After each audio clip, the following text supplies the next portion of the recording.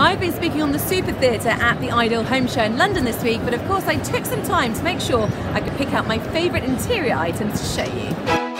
How to style a room, how to work with colour, just about everything you can imagine. I've stumbled across the BHS stand. Did you know you can still buy their interiors online? And they've got this amazing Made in Britain line, and this is by Lauren Aston.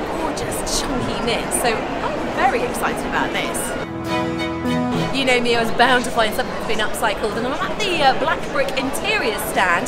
These two tables here have tops made from upcycled rail sleepers from India. Absolutely gorgeous, very reasonably priced as well. Um, they have here a mixture of upcycled and new items of furniture. I'm very pleased I found these.